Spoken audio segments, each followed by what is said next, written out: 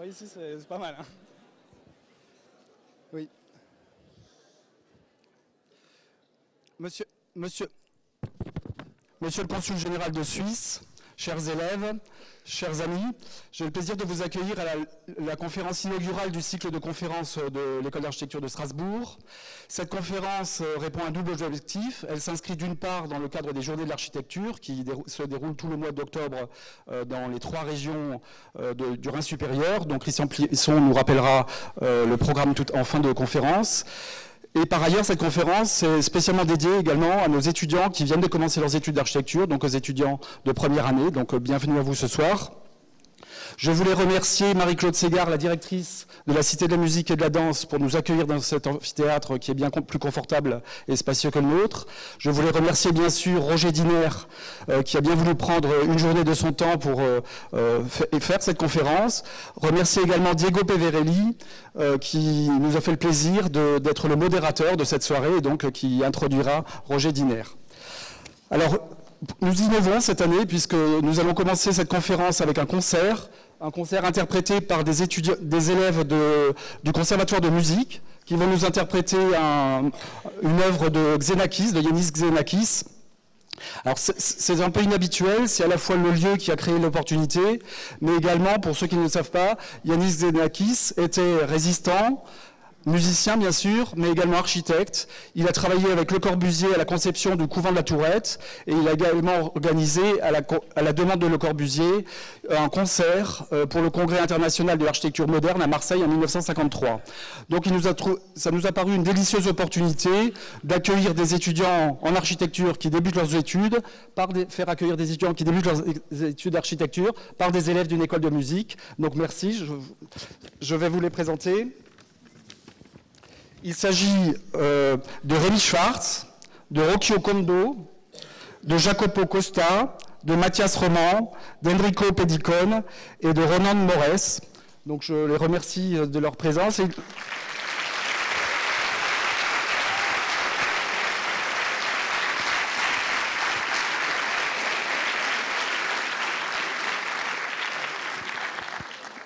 donc ils vont nous interpréter Peau de Pléiade, mouvement numéro 4, et qui a été présenté une première fois dans le cadre euh, de Musica. Donc merci à vous. Un petit mot technique encore, si vous voulez bien éteindre vos portables euh, pour euh, le déroulé de l'œuvre.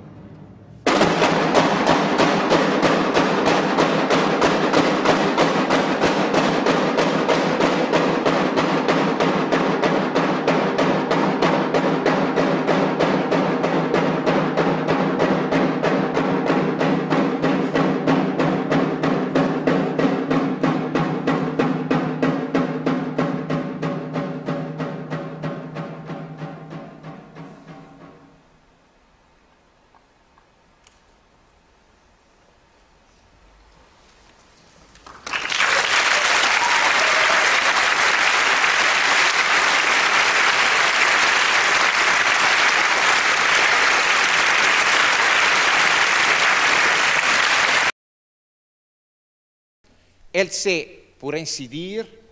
déplacée dans ce grand auditorium de la Cité de la musique et de la danse, œuvre réalisée il y a quelques années par l'architecte parisien Henri Godin. Nous te remercions vivement pour avoir accepté pour la troisième fois après 83 et 93 notre nouvelle invitation à donner une conférence sur tes nombreuses expériences d'architecture sous le titre Fenêtre sur la ville. Roger Diener, architecte diplômé de l'École polytechnique fédérale de Zurich en 1976, est entré en 1980 en tant que partenaire dans le bureau Diener et Diener Architekten avec siège à Bâle, où il fut fondé en 1942 par son père, Marcus Diener, et depuis la moitié des années 90, en concomitance du projet pour la rénovation et l'agrandissement de l'ambassade suisse, une œuvre parmi les plus significatives de la production architecturale de Diener et Diener Architectes, aussi à Berlin. En plus de la responsabilité assumée de l'agence, Roger Diener est engagé depuis 1985 dans l'enseignement de l'architecture. Après avoir enseigné pendant quatre ans jusqu'en 1989 au département d'architecture à l'École polytechnique fédérale de Lausanne, il a été successivement professeur invité à l'Université de Harvard à Cambridge, États-Unis, et aux écoles supérieures d'architecture de Vienne, Amsterdam et Copenhague. Depuis 1999, il enseigne en tant que professeur ordinaire à l'École polytechnique fédérale de Zurich, se consacrant notamment au développement des territoires et des formes urbaines contemporains au sein du laboratoire de cette école, Studio de Bâle, Institut Stadt der Gegenwart, que je traduis Institut de ville tout librement des temps présents. Depuis presque 30 ans, Diner et Diner Architectes sont les auteurs d'une importante série d'œuvres d'architecture reflétant une réinterprétation des concepts et méthodes projectuelles qui furent à la base de la tendance du Neues Bauen, et ce, à partir d'une profonde connaissance des expériences majeures de cette manifestation, en particulier celles concrétisées dans les contextes urbains. C'est en considérant primairement les projets réalisés par Diner et Diner Architectes dans les espaces et dans les structures bâties de la ville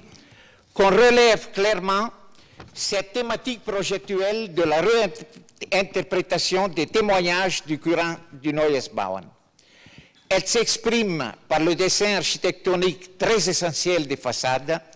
par la réduction des moyens appliqués dans l'élaboration de la configuration architecturale, et par une esthétique minimaliste définie euh, comme système de signification de nature fonctionnelle. Mais cette réinterprétation développée par les architectes balois dans leur pratique de projet manifeste une attitude critique envers les, expériences d'intervention architecturale dans la ville effectuées par les protagonistes du Neues Bauen. En effet, Contrairement à ces réalisations vouées à, mettre en évidence l'autonomie de l'objet architectural fonctionnaliste comme signe programmatique d'une restructuration moderne du cadre bâti existant des villes, en parenthèse avec l'exception des projets de Erich Mendelssohn à Berlin, les édifices réalisés par Diener et Diener Architectes révèlent par les rapports définis avec détermination qu'ils établissent avec les caractères morphologiques, typologiques et de matérialité constituant les préexistences du contexte d'intervention, leur appartenance à la réalité complexe de la ville. Ces édifices sont conçus pour la ville. Leur insertion dans la structure urbaine prend forme à travers l'élaboration des rapports projectuels, fonction, organisation spatiale, et volume structure spatiale. En développant de façon précise et sensible cette recherche, les architectes balois intègrent leur expérience du lieu urbain. Dans l'objet construit qui reflète le projet d'habitation du lieu, cette expérience devient compréhensible pour l'habitant par les ouvertures, les fenêtres ouvrant sur la ville. Pour conclure ces considérations, l'architecture conçue et réalisée par Roger Diner avec ses collaborateurs ne participe pas à l'imaginaire architectural, pour employer une expression de Vittorio Gregotti, et qui traduit dans notre environnement le phénomène de l'incessante consommation d'images. Je définirai l'architecture de Diner et Diner architecte, une architecture concrète qui réside par sa par son rigueur formelle et sa raison d'être par rapport au contexte, ainsi que par sa réalité constructive qui évolue en considération des exigences de notre société. Roger, on t'écoute avec beaucoup euh, d'intérêt. Merci.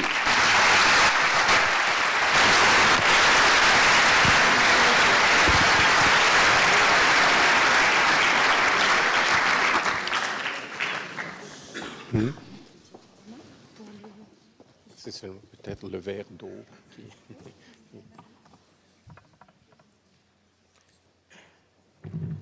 Alors je, change les images. Hein. Bonsoir, excusez-moi, je ne travaille pas avec Mac. Euh, je m'y connais en tout cas pas très bien. Alors, merci hein, d'être là. Évidemment, tout le monde qui a organisé euh, cette conférence. C'est euh, déjà c'était assez difficile l'idée de parler après ce magnifique euh, pièce de Xenakis. Mais puis il y avait Diego Peverelli qui a encore ajouté quand même encore chargé un peu ce, pot mais euh, je me réjouis quand même d'être là. Je me réjouis aussi, je ne savais pas qu'il y a des étudiants de première année qui, sont là, et peut-être euh, euh c'est pas si mal que ça que, fond, au fait, euh, je vais vous présenter des, des, projets et je vais vous, comme, et je vais vous, vous, vous, faire comprendre notre manière de travailler aussi dans une manière chronologique. Et euh, même j'ai pris, au fond c'est le contraire de ce que Diego il a dit. Lui il a dit il voulait, il avait peur de ne pas être précis et c'est pourquoi il a euh, écrit cette euh, petite introduction. Moi par contre, je, ce soir je préfère être un peu imprécis, mais je crois que c'est plus euh, c'est quand même pour, comme j'ai aussi un peu plus de temps que lui à disposition, euh, c'est peut-être plus intéressant si j'essaie à faire comprendre le langue d'un choix de projet, quelle est notre position. J'espère que ce n'est pas moi qui est responsable pour, pour ce. Oui. Et euh, je vais vous, je vais introduire quelques aspects de notre travail qui nous ont amenés à ce qu'on fait aujourd'hui. Comme euh, Diego il l'a bien indiqué, alors c'est une pratique professionnelle qui date depuis euh, assez longtemps, depuis 1976. Euh, On a commencé ce, premier projet que je vais vous, montrer a été construit dans les années à suivre, m'a été conçu en 73. Moi, j'ai eu euh, le fait que mon père avait fondé cette, euh, ce bureau d'architecture, disons, a, euh, amené à ce fait que moi, étant encore jeune architecte, j'ai quand même commencé avec un projet considérable, contrairement à des collègues en général qui, montent leur propre euh, euh, leur propre bureau d'architecte, alors qui, qui, commence en général pas avec un tout grand projet. Alors chez nous, chez moi, c'était un peu différent, mais euh, disons après tout, ça n'a pas changé beaucoup. Alors c'est une pratique de, ce temps-là. J'ai été, étudiant à Zurich, d'ailleurs, comme à peu près comme étudiant en 73, j'ai écouté euh, Yanis Xenakis qui a interprété ses propres compositions au Man Auditorium à, Tel Aviv, où j'ai fait une année de, stage. Alors, euh, c'est vraiment des, cercles euh, tout à fait impressionnants pour, moi-même ici à Strasbourg. Alors, euh, je vais quand même essayer de, m'asseoir. C'est un peu un setting euh, un peu difficile parce que c'est un peu causerie, mais je vais quand même euh, essayer de, passer par là. Peut-être, oui, je vais quand même. Et évidemment, ce qui, ce qui nous a préoccupé et euh, Diego en a parlé, c'est vraiment les, conditions euh, concrètes d'une production d'architecture contemporaine dans la ville européenne. Et évidemment, il n'y avait pas tellement d'expérience autant qu'on on était engagé par... Euh, le mouvement moderne par, euh, l'architecture entre les guerres, par, euh, euh, tous les acquis qui ont dont, on, fait preuve, le Siedlungsbau en Allemagne et, et d'autres d'autres grands, même grands projets, évidemment ah, il y avait peu de contributions qui étaient euh, consacrées à la ville même. Il y avait peut-être le plus important était ceux, qui étaient euh, réalisés en Italie. Mais il y avait quand même, euh, en tout cas dans notre condition en Suisse, dans les années 70, disons, on avait l'idée qu'on doit reconstruire notre euh, propre euh, position euh, à fond face à ce qu'on a, ce qu'on a vécu soi-même aussi comme, comme adolescent et puis comme étudiant d'architecture. Et, c'est à partir de cette, de, de, cette compréhension qu'on a commencé à travailler.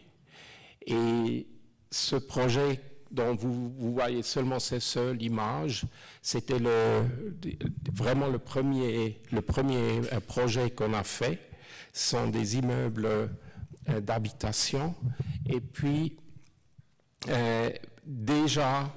le long de ce premier projet, on s'est rendu compte à quel point des conditions euh, élémentaire, euh, euh, et, disons, marquait l'objet architectural, les conditions qui étaient celles de la structure même, celles de, de, l'enceinte, et puis évidemment de l'organisation spatiale, soit la partie morphologique, soit puis la partie euh, typologique euh, à, l'intérieur euh, de, l'ensemble. Mais on a compris qu'il y a un échange mutuel entre l'espace de la ville et, l'espace qu'on construisait, les espaces intérieurs qui était tout à fait euh, euh, important et qu'on cherchait à explorer depuis ce premier projet et on s'est rendu compte que déjà dans ce premier projet, cette question, elle était devenue tout à fait euh, décisive. Et, l'organisation de ce fragment d'îlot qu'on a construit en forme de, de U, ça veut dire, ça, c'était au fond une, une d'un îlot traditionnel du, du 19e. Euh, on l'a organisé de cette manière qu'on avait les, appartements traditionnels le long des, trois euh, rues, pendant qu'on avait des, des, appartements euh, plus petits, des studios qu'on avait organisés dans les angles de ces de, de, tout ce projet d'habitation. Et puis, ça amenait justement, déjà dans cette première, euh, dans cette première opération, à des conditions complètement différentes euh, qu'on a aussi, euh, disons, qu'on a aussi répondu avec une organisation, un plan d'architecture, un plan architectural spécifique. Et puis le résultat nous a presque euh, étonné euh, nous-mêmes à quel point cette euh, différenciation entre petits studios qu'on voulait dans des conditions, une, chambre, un studio dans des conditions triangulaires qui, qui représentait presque comme sur un écran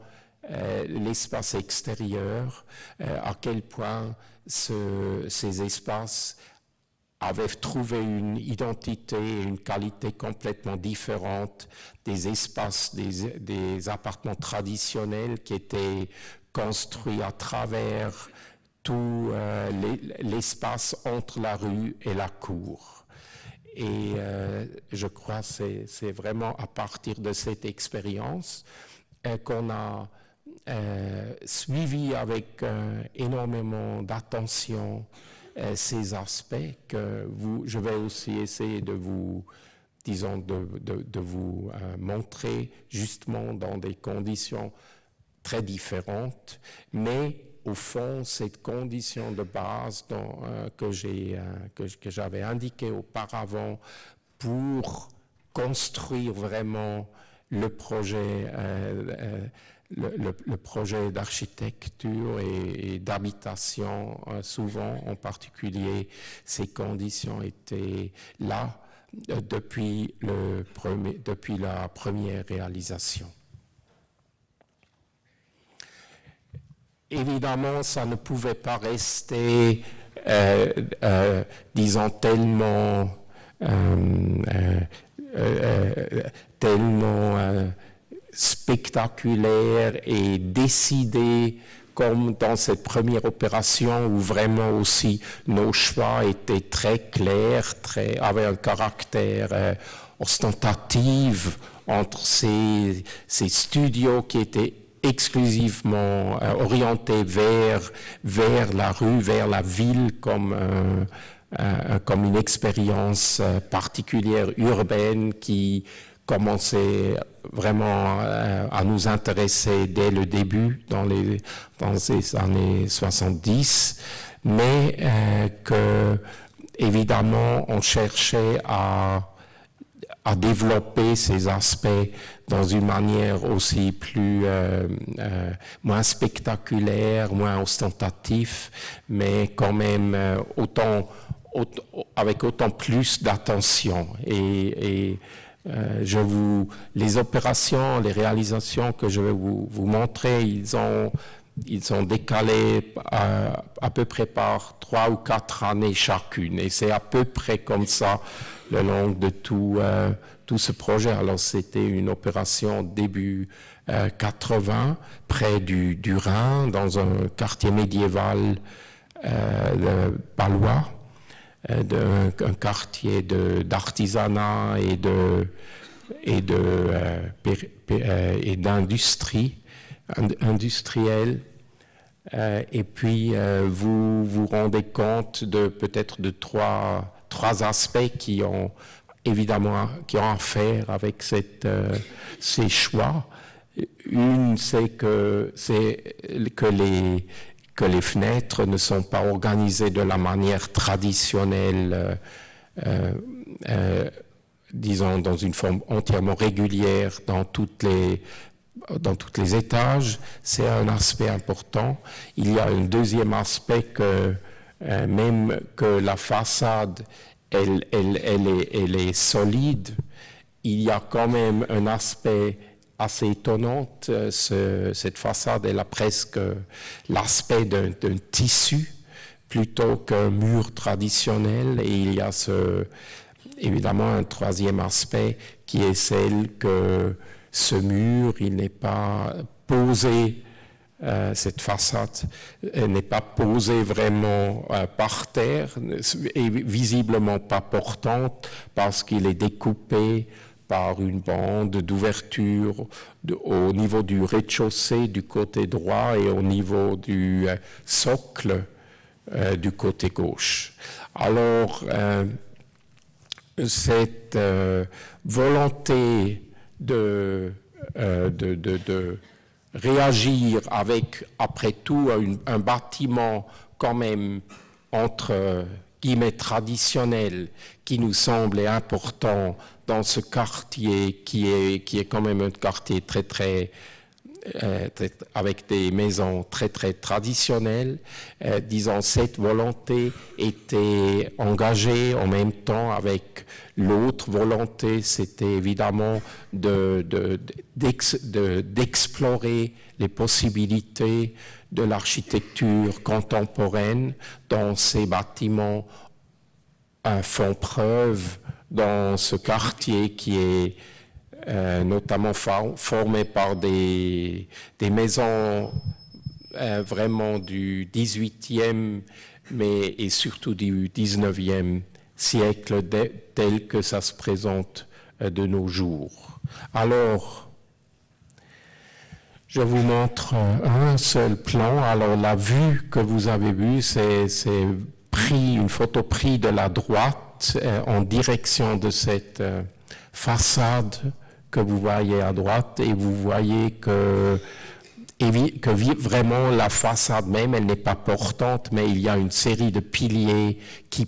qui, qui portent euh, euh, le bâtiment même, les sols. Et par contre, du côté euh, gauche de ce, de ce premier bâtiment. Alors, vous, le long d'un canal, vous voyez que cette organisation de piliers, de, de de, euh, de, de, piliers est, tout, est organisée pas librement, mais que l'organisation de la façade et des, des euh, divisions à l'intérieur correspond à cette euh, structure régulière. Alors, euh, et vous voyez aussi que, l'organisation de ces, de ces, de ces euh, appartements avec les chambres individuelles du côté du canal et les espaces collectifs du côté de, la, de la rue et de la place, évidemment, disons, interprètent cette volonté d'introduire et de différencier deux conditions, je dirais, élémentaires de, de, de, de, construction, celle qui est traditionnelle et celle qui est justement euh, euh, qu'on doit aussi à, au, au, mouvement moderne, aussi à, à, à la, type, la, typologie même, à, le Corbusier qui a introduit évidemment entre les cinq règles de l'architecture moderne, évidemment celle de la façade libre et, du plan libre. Alors c'est vraiment un, exemple presque encore scolaire. On était dans les premières années de notre pratique et on voulait vraiment explorer et retrouver une identité euh, à l'intérieur de ces, de ces moyens qui étaient les moyens de l'architecture euh, contemporaine, et c'était des, disons, des, des, moyens qui ont eu à faire avec des conditions de, technologiques, euh, économiques, mais évidemment aussi euh, qui ont eu à faire avec, la, avec la, la, théorie et le débat d'architecture. Mais cette différenciation d'ailleurs que vous voyez, euh, qu'elle existe encore dans, dans, le deuxième bâtiment qu'on a construit, que je ne vais pas maintenant vous, euh, vous, vous, présenter, euh, cette différenciation, cette, ce travail en, en couches qui sont différenciées l'une de l'autre et qui créent ensemble cette complexité. Évidemment, euh, elle est devenue vraiment marquante aussi pour la suite euh, de notre euh, la suite de notre travail. Il y a peut-être encore un aspect important à, à indiquer, c'est celui qu'au fond, l'organisation de ces appartements ne décide pas sur l'organisation du, plan de, l'immeuble. Ça veut dire le bâtiment lui-même, il trouve sa forme au fond dans la condition, euh, urbaine particulière et puis les appartements, même que c'est un plan tout simplement au fond symétrique avec deux appartements par étage, un plan le plan le plus commun qu'on connaît, disons ces appartements. Le, bâtiment lui-même, il n'est pas organisé de cette manière. Ça veut dire des appartements, ils ont presque une, manière de faire du squatting, de, chercher à, se trouver à l'intérieur de ces conditions qui sont des conditions données par euh, l'échange et le, le dialogue du bâtiment avec la ville. Alors encore seulement encore euh, une, vue de derrière qui montre évidemment que là aussi cette façade, cette peau, euh, elle trouve sa forme qui est cohérente et qui est celle où vraiment la structure portante correspond aussi à, l'espace intérieur qui est aussi euh, organisé de, manière régulière pendant que vous vous rappelez face, euh, euh, que, face à, la, à la ville, que ce plan il était différent. Et ainsi on a aussi pu se permettre d'organiser les, les, ouvertures de la manière étage par étage qui semblait ouvrir euh, des, vues et ainsi une relation entre l'espace intérieur et extérieur plus complexe, plus intéressant que par une simple qu'on aurait pu réaliser par une simple répétition. Alors cette, volonté de trouver cet équilibre entre l'espace urbain et, et la structure même du bâtiment, cette volonté de, euh, disons que, que, le bâtiment répond immédiatement à l'espace urbain et que et qu'il y a un échange, ça veut dire que, que, que l'espace urbain semble avoir son effet sur le bâtiment même et le bâtiment par contre devient même la condition de l'espace urbain. Cette sorte de, processus itératif nous, nous a préoccupés de plus en plus et euh, dans, dans l'ordre au fond des projets, c'est peut-être un, projet euh, qui est au fond assez simple, mais qui permet quand même de, faire comprendre justement cet échange qui, nous intéresse et qui nous semble aussi euh, absolument indépendant des, de, questions de, de, poids ou de, matériaux. Cet, cet, euh, cet, échange entre espace euh, urbain et espace du, à l'intérieur des bâtiments même cet échange ne, correspond pas euh, justement des, matériaux, soit que ce soit du, verre ou du béton, mais euh, euh, cet échange se fait à partir d'autres critères de, disons, de réciprocité et, et qu'on cherche à développer et on croit aussi que ça se, disons que finalement les bâtiments se, se, manifestent aussi justement de cette manière. Alors vous voyez avec un seul plan simple que toute euh, cette euh, demande aussi de d'introduire cet angle qui m'ont conçu à partir de cette condition qui est là et que finalement toute la structure du bâtiment, le bâtiment même, est devenue la, réponse euh, de cette condition urbaine qui était celle de cet angle très particulier. Alors ce sont des, opérations de ce type qui, nous ont préoccupés et qui nous ont, euh,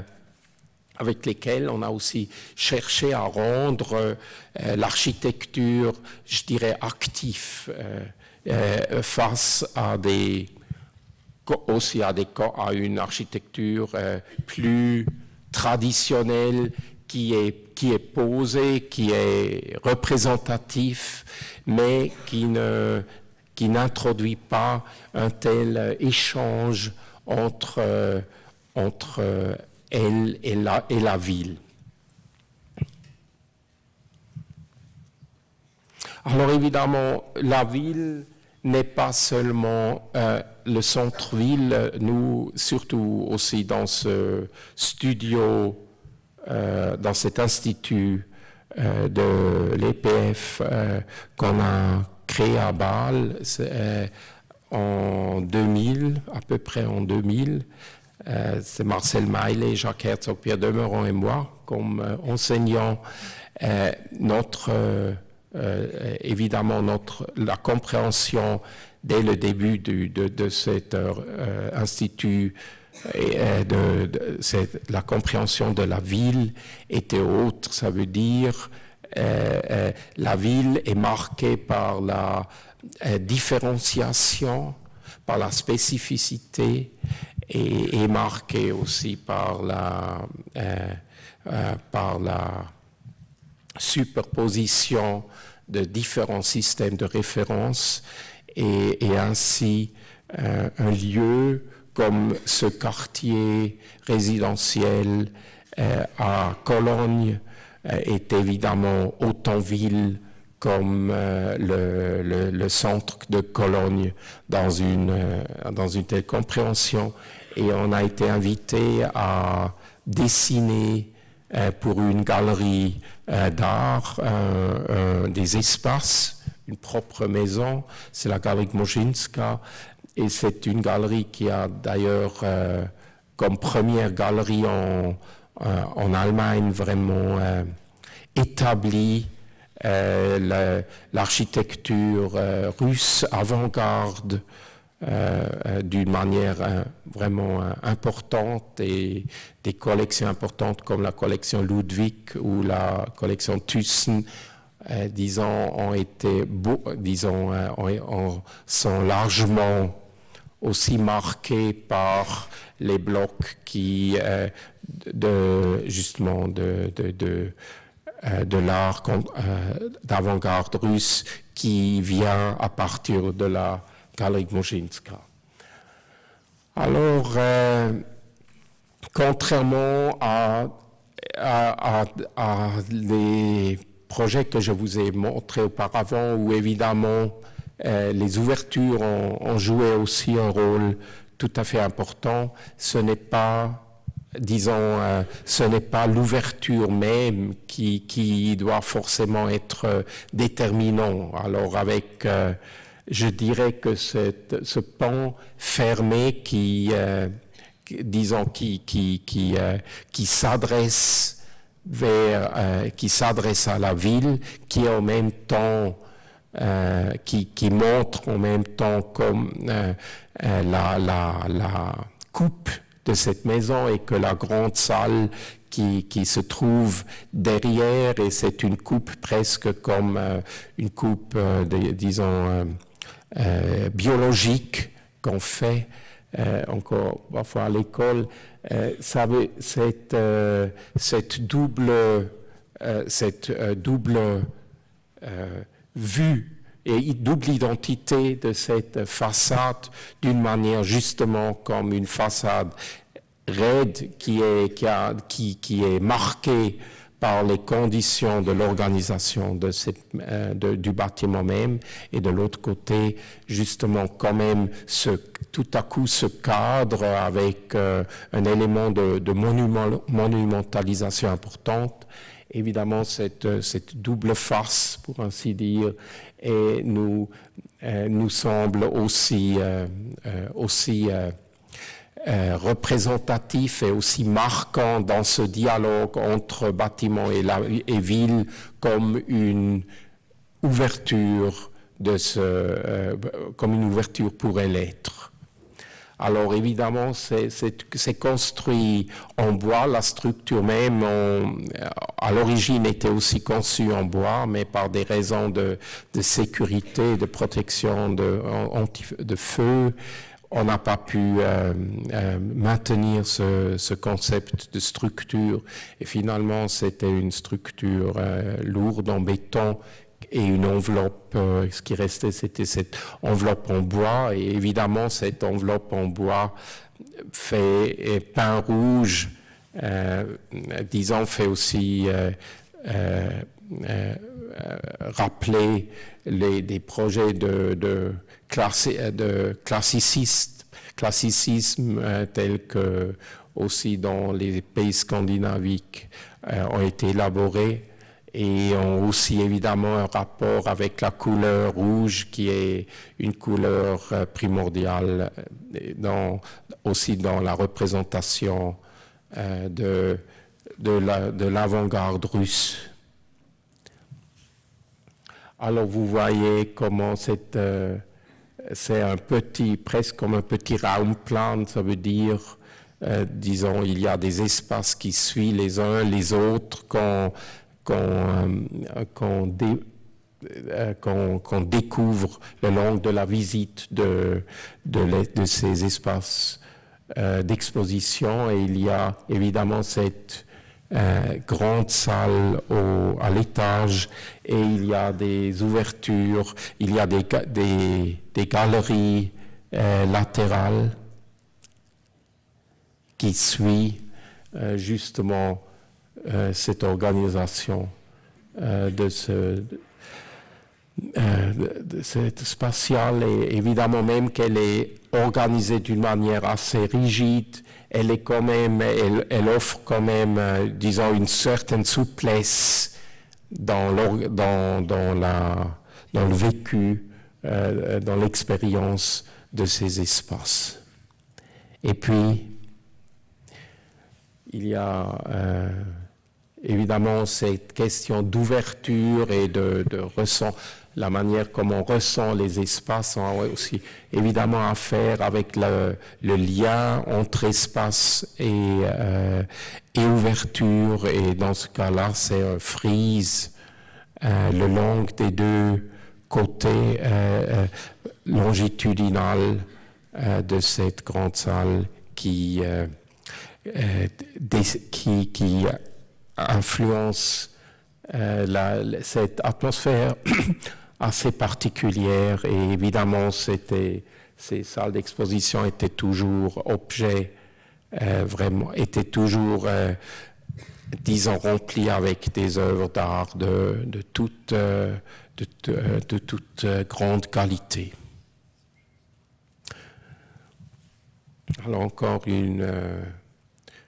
vue côté court qui n'est pas entièrement différente, même qu'avec une finition encore une fois différente, euh, elle, est, moins, elle, semble aussi moins, euh, un peu moins représentatif, monumental. Alors un retour,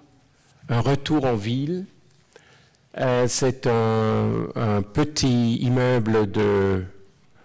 de magasins, de bureaux et aussi d'habitations dans les deux dans les deux derniers étages, même que c'est un seul espace. Disons, euh, le, le, programme n'est pas tellement décisif, mais évidemment il y a euh, euh, un débat important à, mener à cause de l'organisation aussi de ces ouvertures, de ces grandes fenêtres. Ce projet d'ailleurs euh, été un travail qui nous a beaucoup engagé parce que c'était au centre-ville ici. Il y a, j'ai retrouvé ce soir Daniel Stéphanie, architecte euh, français et qui euh, a travaillé dans ces années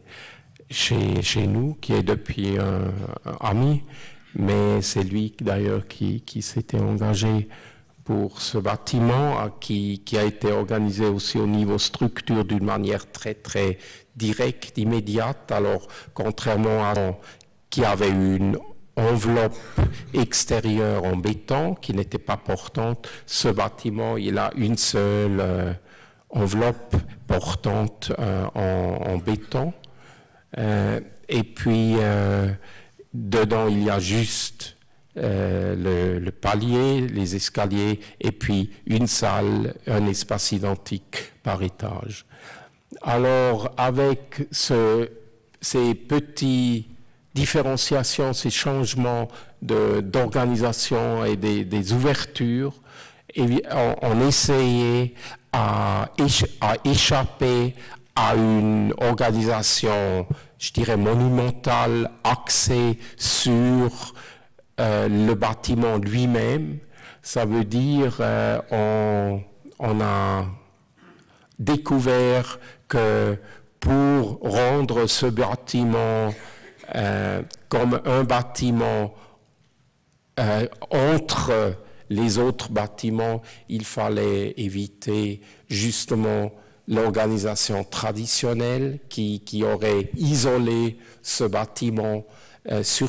en soi, sur, orienté sur soi-même. Et on croit avec cette, ces petites euh,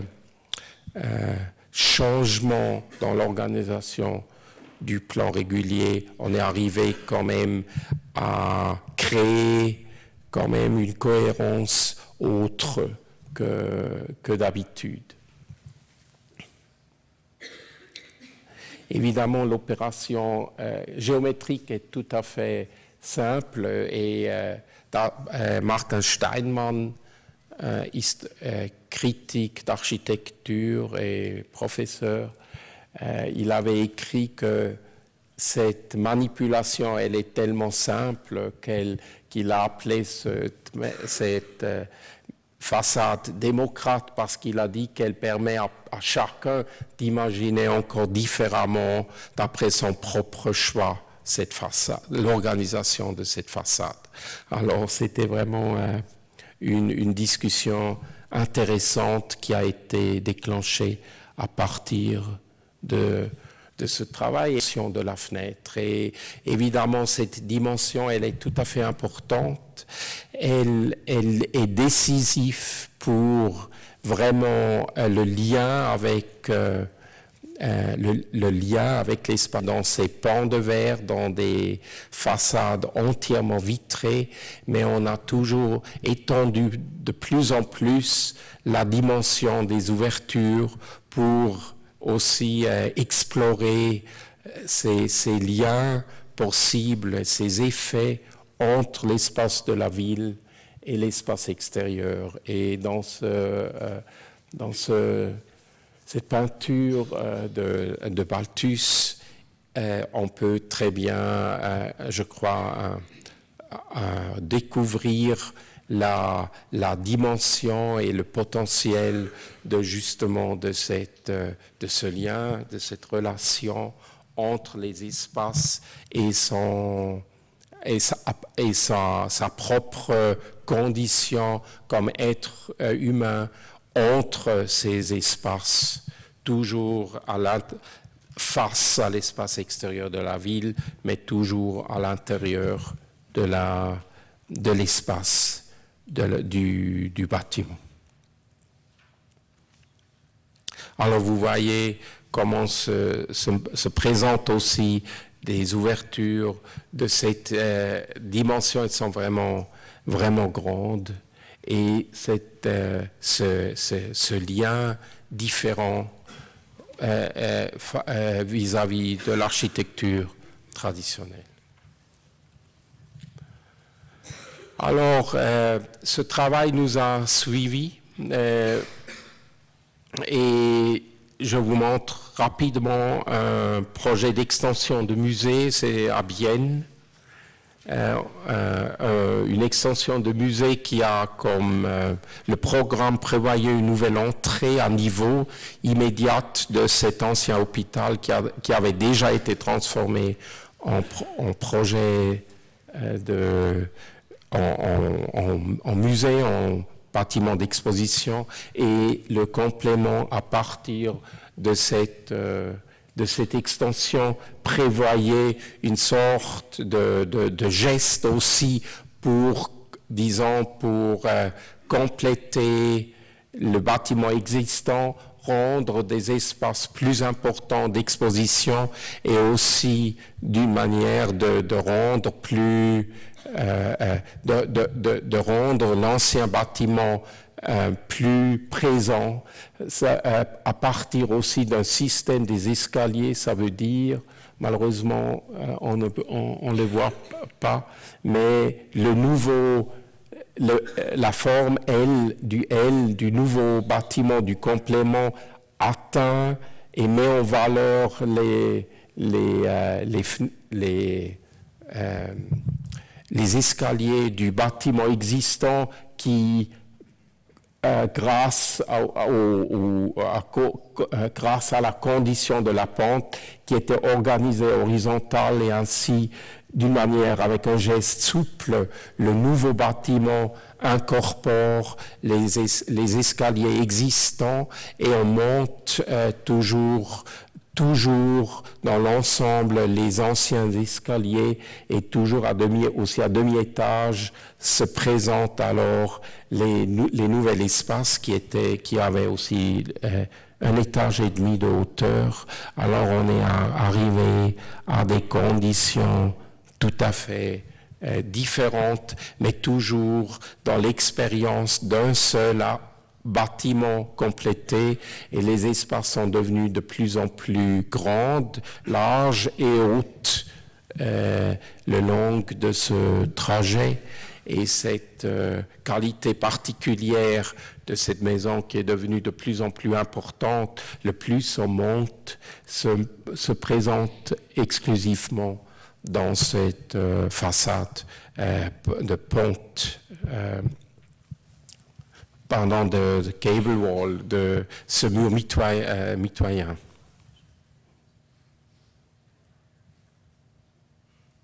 Alors, euh, euh, cet échange, ne, évidemment, rend la façade toujours très significatif. Et il y a des espaces, il y a des moments où on cherche à rendre peu significatif euh, cette expression particulière aussi des ouvertures qui évidemment euh, euh, indiquent aussi une organisation du bâtiment même. Et je, je vous montre seulement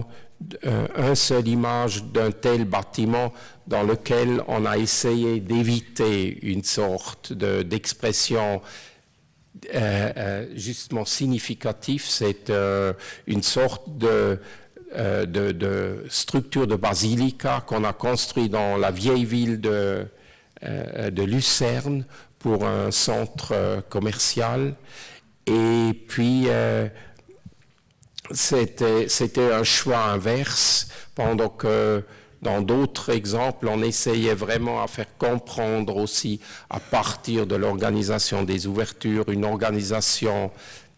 spatiale interne euh, cet échange, on cherchait à le troubler dans ce cas-là. Alors évidemment, ce n'est pas toujours une sorte de volonté d'ouvrir l'intérieur vers l'extérieur. Parfois, ça ne sert à rien. Parfois, les espaces intérieurs ne sont pas non plus qualifiés de manière pour atteindre, euh, pour, pour, être euh, euh apte à, une telle, à un tel dialogue et je trouvais quand même que ça vaut la peine de, l'indiquer ainsi. Ici, vous voyez justement cette grande surface euh, de, ce, de ce centre qui est quand même posé à l'intérieur euh, de cet euh, tissu partiellement vraiment même encore médiéval et surtout derrière le,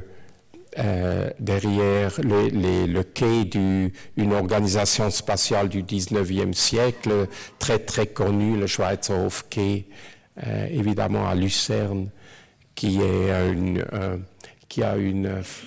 une signification tout à fait importante aussi pour le tourisme de Lucerne. Alors, ce projet dont euh, Diego Peverelli a parlé, évidemment, il, est, il était... maintenant, ce sont les derniers projets que je vais vous, vous montrer. Il a une qualité encore une fois autre et ouverture et, représentation aussi encore une signification différente. C'est une vue particulière de l'ambassade suisse euh, à, Berlin, un travail qu'on a fait autour de, 2000. Et puis, euh, c'est un projet qui qu'on a fait en collaboration avec l'artiste Helmut Federle. Et euh, c'était le, palais euh, qui datait de 1975, 1875 à peu près, ou 60, euh, euh, ou 80, qui était un palais typiquement de un, palais urbain, pour d'ailleurs pour le directeur du, de l'hôpital de la Charité. Et puis c'était la résidence suisse de, la Suisse depuis 1919. Et puis après 1999, euh, après les changements, ça aurait, ça, le programme prévoyait que ça devient l'ambassade entière, ça veut dire avec euh, euh, l'ambassade qui était auparavant encore à Cologne, a été, a été domicilée ici à Berlin. Alors, on a ajouté un bâtiment pour euh, les bureaux, pendant que dans le bâtiment existant, il y avait la, résidence, et on avait ce mur mitoyen. Et évidemment, euh, l'histoire est, féroce. Vous découvrez, j'espère vous découvrez au milieu, tout en haut, euh, l'ambassade suisse. C'était avant que le nouveau, les nouveaux bâtiments étaient construits pour le gouvernement allemand, le Bundeskanzleramt et la maison à côté du Reichstag, euh, encore qui a été construit. C'était d'ailleurs cette photo, on le doit à l'événement de Christo qui avait emballé le Reichstag. Et on voit que de tout ce quartier qui était entièrement construit euh, après la guerre. C'était le seul bâtiment qui a été sauvé était justement cette ambassade suisse. Alors évidemment, dans notre travail, dans notre euh, euh, concept, ce, ce complément de cette ambassade devrait, pardon, je vais, peut-être je vais je vais quand même, ce complément de cette ambassade, d'un côté, devrait vraiment euh, être euh, représentatif, euh, concentrer les concentrer l'existant et le nouveau à créer quand même un objet fort pour et complexe mais fort pour cette comme un bâtiment représentatif, mais de l'autre côté, on voulait en même temps exprimer justement cette euh, condition qui est quand même tout à fait particulière de tout ce quartier qui a été, euh, euh, qui, qui, a été détruit à la base de cette folie de mégalomane allemande qui non seulement, c'était pas seulement détruit par les bombes des, Alliés, des avions alliés, mais c'était surtout démoli pour préparer tout ce quartier pour préparer euh, le site pour la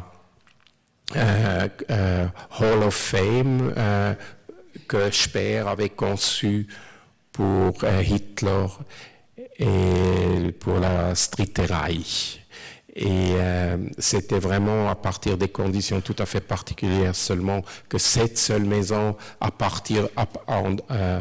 part le Reichstag, a été maintenue. Et ainsi, ce, ce, travail aussi sur ce mur mitoyen de Helmut Federle, il parle aussi évidemment des, euh, des, conditions de démolition, autant je crois de, de, des conditions de reconstruction. Il y a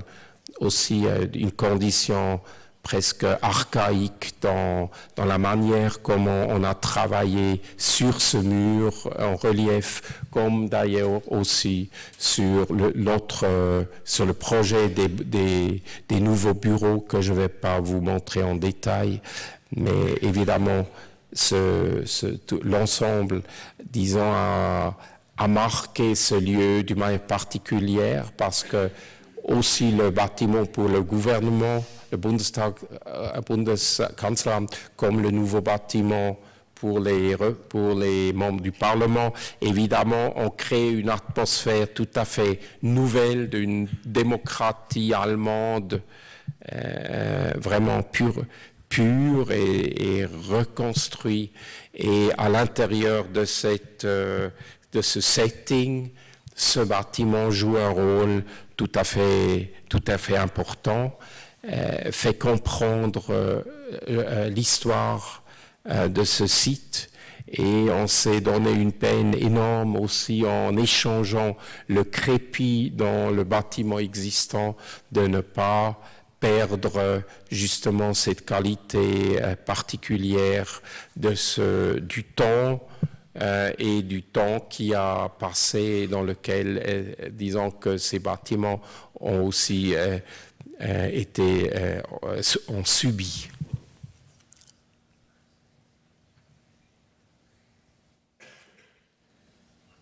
Alors, encore rapidement, pour ne pas non plus fermer, arrêter avec des, des, bâtiments trop, trop lourds, un immeuble quand même d'habitation à Amsterdam qui était quand même aussi intéressant à partir de ces conditions d'ouverture et, et, aussi des conditions d'un site particulier, évidemment qui reprend l'idée aussi du, de l'échange qui est la condition des ports, cet échange industriel entre la ville et, euh, et, la mer et l'arrivée le départ des, marchandises et cet grand immeuble de, je crois, de 160 mètres qui est construit dans l'eau a été euh, aussi porte euh, d'une manière ou de l'autre cette expérience. Et on a, avec une seul, seul type d'ouverture, on a géré tout ce, programme. Et ce qu'on ne peut pas voir maintenant, c'est qu'on a détaché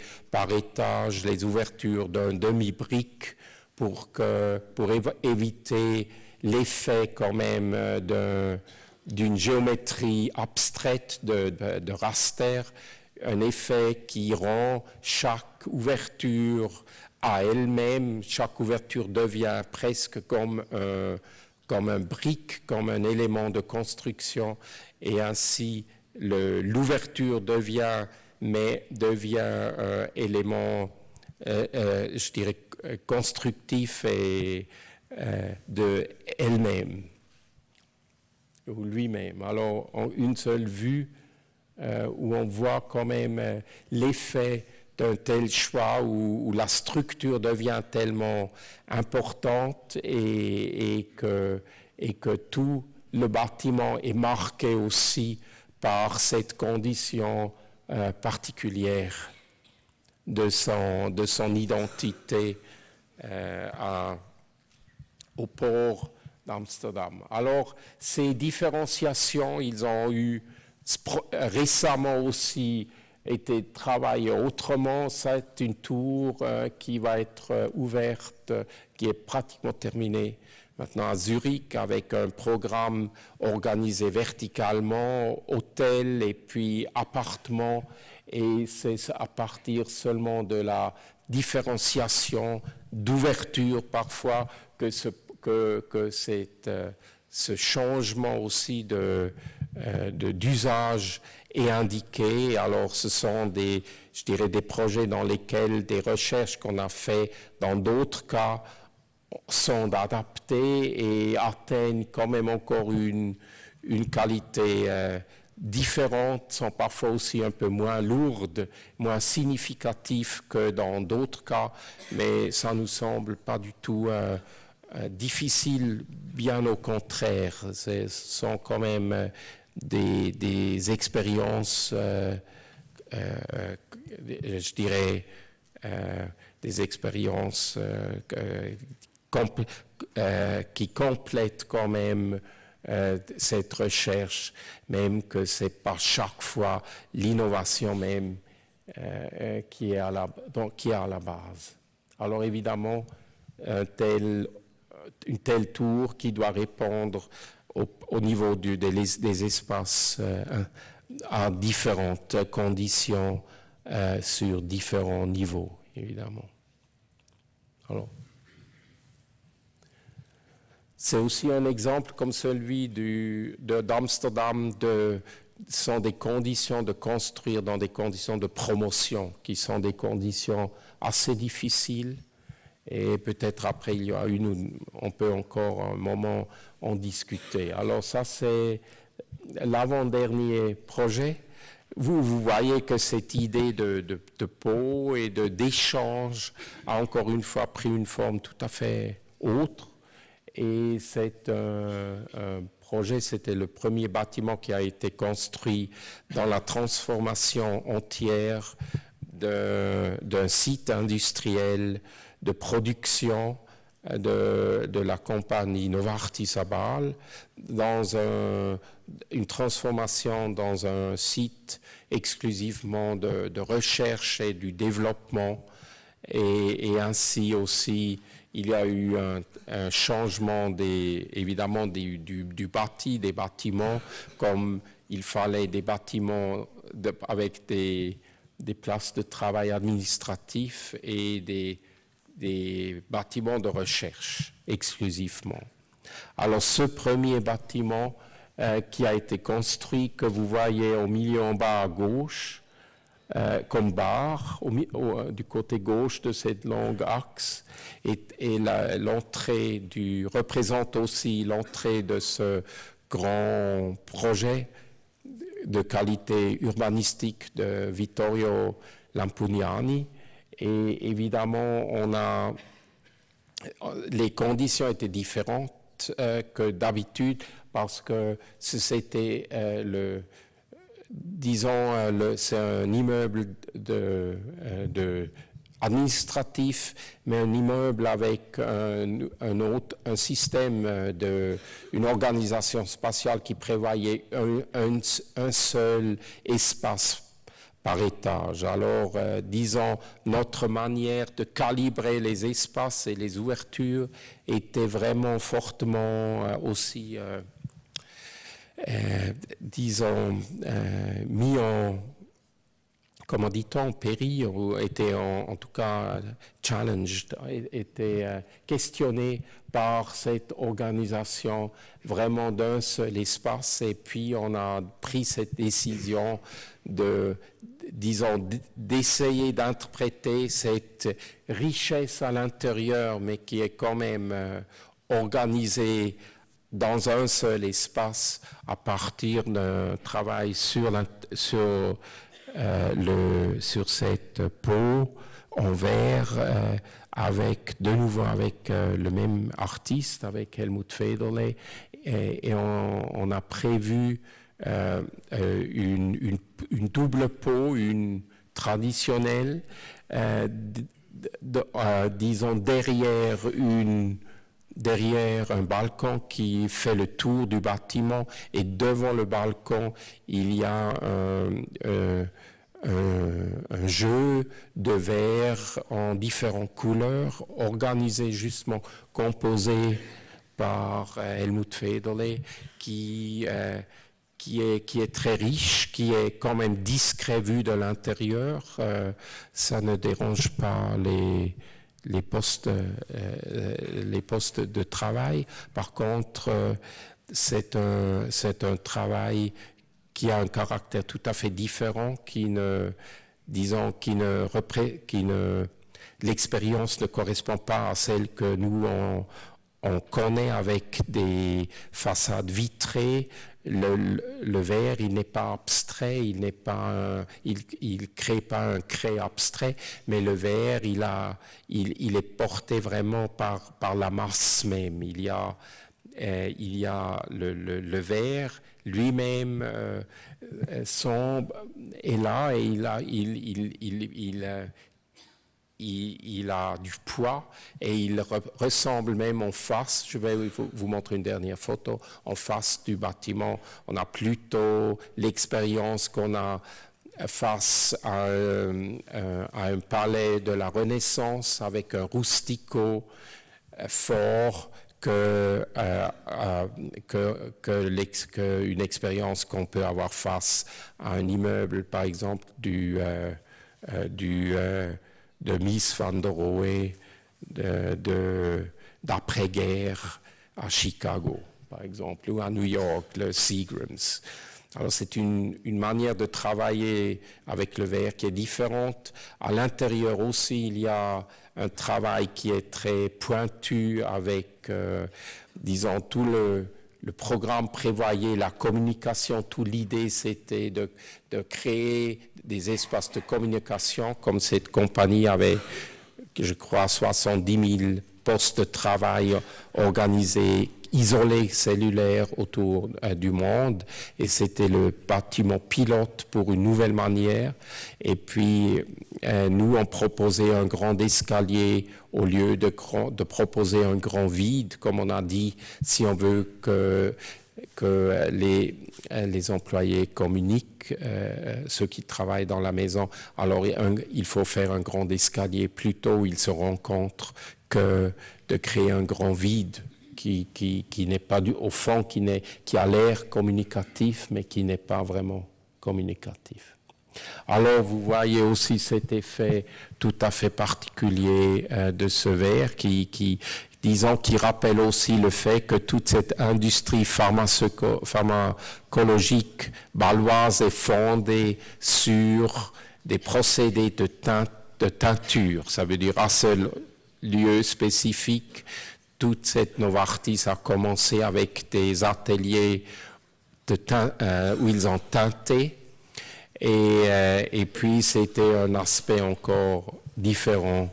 qui nous, qui nous était cher dans, dans ce travail. Alors, ce dernier projet, c'est aussi le dernier qui a été achevé. Il y a euh, trois semaines, on a ouvert le, la,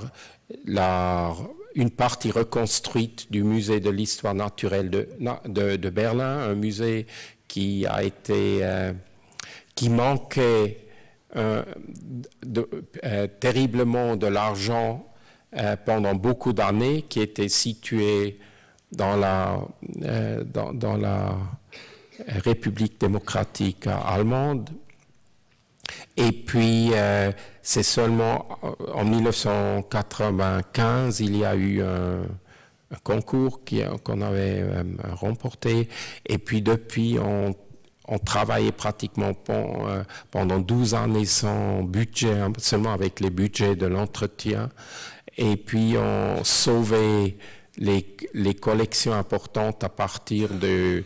de, de, des, des toits qu'on a, qu'on a sauvés euh, qu'on a protégé, reconstruit. C'était vraiment un travail très très dur avec très très peu de moyens et seulement il y a quatre années, il y avait les moyens à faire, à commencer ce projet dont on avait depuis 1915, euh, qu'on avait déposé déjà en 1915, euh, pardon, 1995. Et le bâtiment, il est de 1800 d'ailleurs de 1975 qu'il a été construit. Et puis,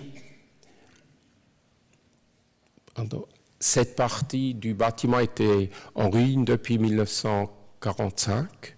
et justement il manquait les moyens de le reconstruire. Et en plus, les collections de, de valeurs vraiment immesurables étaient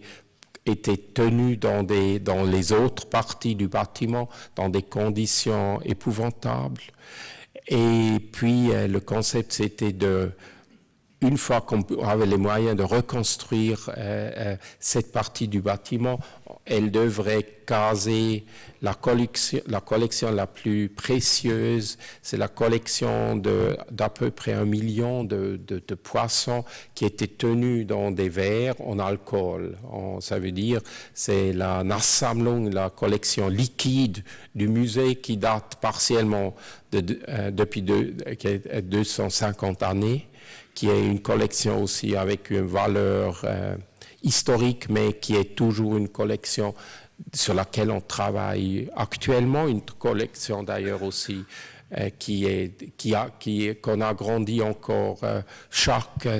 chaque mois aujourd'hui. Et on voulait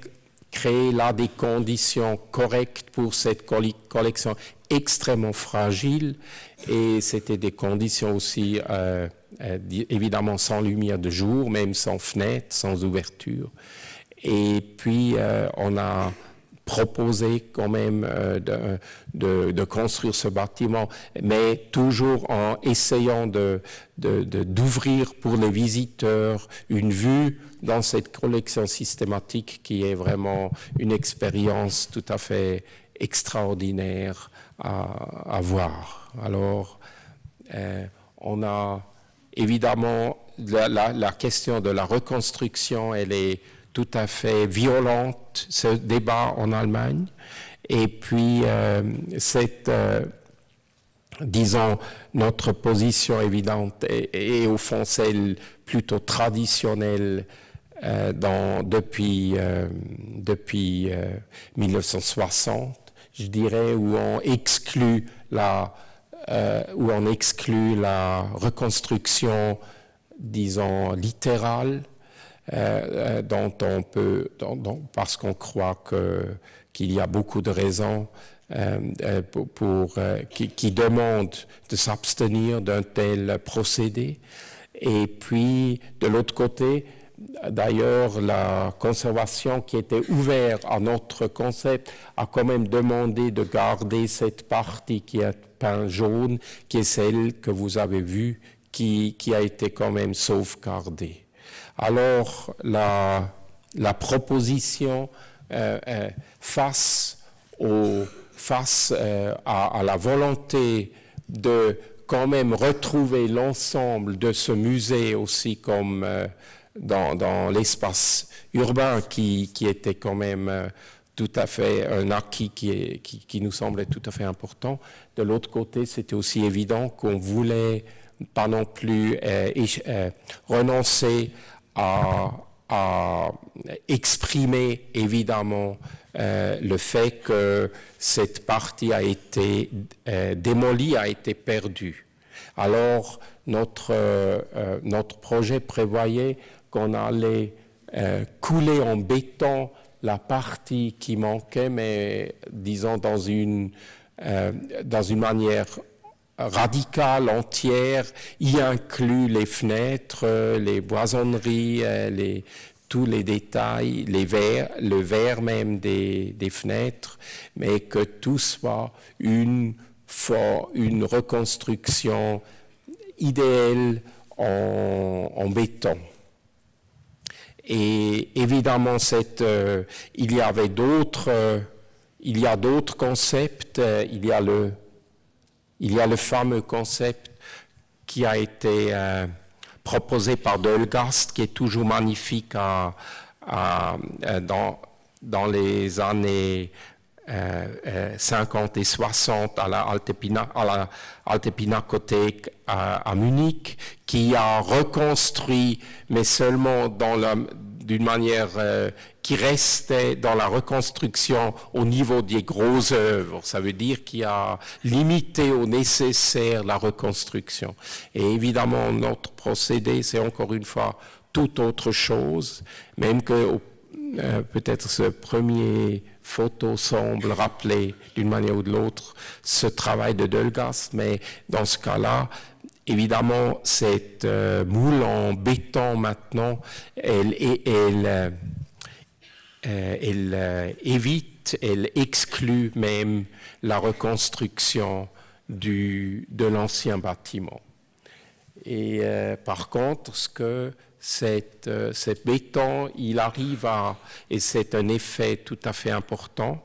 que contrairement à des reconstructions qui manquent cette partie-là que les parties originales portent, le fait d'avoir de utilisé ce, béton dans cette manière brute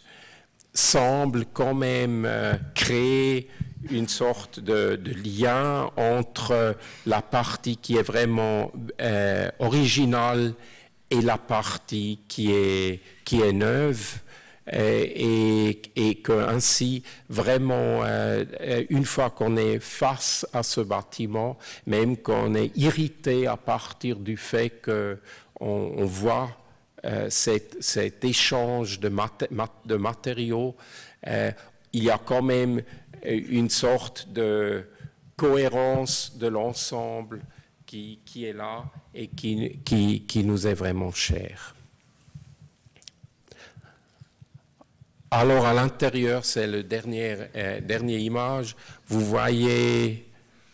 euh, cette collection tout à fait extraordinaire de ces euh, 100 millièmes de spécimens de, types de, poissons euh, différentes, souvent semblables, qui sont organisés de la manière pour, euh, pour l'exploitation scientifique, ça veut dire il n'y a pas d'indication, le public il a le droit, la possibilité de passer tout autour, mais à l'intérieur il y a, il y a le poste de travail, il y a l'organisation de toute cette collection à partir de la logique scientifique. Alors, je, vous remercie vivement de, votre patience et euh, je ferme avec euh, cette dernière image. Merci beaucoup.